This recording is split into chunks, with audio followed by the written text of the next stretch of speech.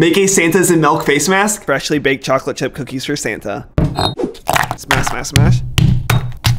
Oh, they a little crunchy. I hope Santa still likes them. Let's taste them for Santa just to make sure they're okay.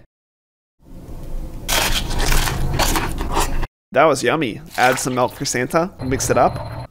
Bubbles, now suck it up. Inject our cookies and milk in here, add the white stuff. All I want for Christmas is a face mask for Santa.